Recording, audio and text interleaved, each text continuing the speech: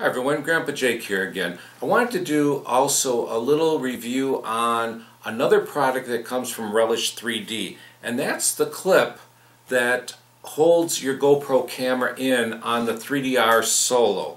And what's special about it is that when you change to their clip, which is only one screw, very easy to do, you no longer have to take your camera out to get your SD card out all you do is remove your plug, that whole, uh, your HDMI plug that's on the side of your GoPro, and then you've got complete access to your SD card, which is wonderful because the less you take things in and out, I think the better. And this camera stays on on this uh, craft, so for me it was great. And it's like I said, it's only one screw, very easy to do, uh, holds it in perfect but gives you total access to that SD card without having to take the camera.